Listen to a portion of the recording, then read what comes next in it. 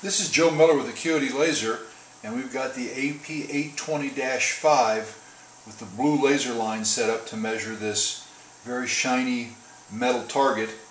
It appears to be forceps and as you can see we've got it on a linear slide and we're able to move that back and forth across that range. And we're going to take a look at the the output from the sensor on this little demo program we have.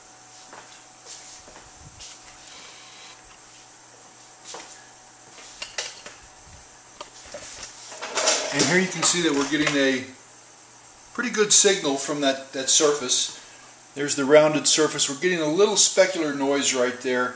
And as I move this down, going to a smaller and smaller point, you can see that we're getting very good results. And we go further and further up. I'd probably recommend we consider having two lasers coming in at 45 degree angles and it's also possible, as an example, if we came in here and we there are adjustments you can make where I'm going to put it on auto gain. And of course, by putting on auto gain, that should help remove some of that noise. And we're going to put on auto shutter control too. And you can see a lot of that noise has gone away.